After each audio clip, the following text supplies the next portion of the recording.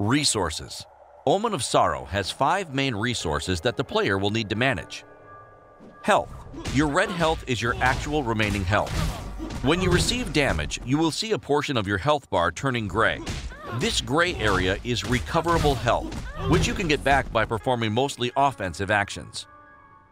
Fortune.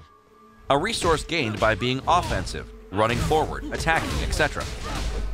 It is used to perform a variety of beneficial actions, like bold cancels, retreats, or entering blessed mode. All of these are explained later. Fate, a detrimental resource. You will accumulate this resource by mostly playing defensively or receiving damage, which can result in falling into the doomed state. This will be explained later.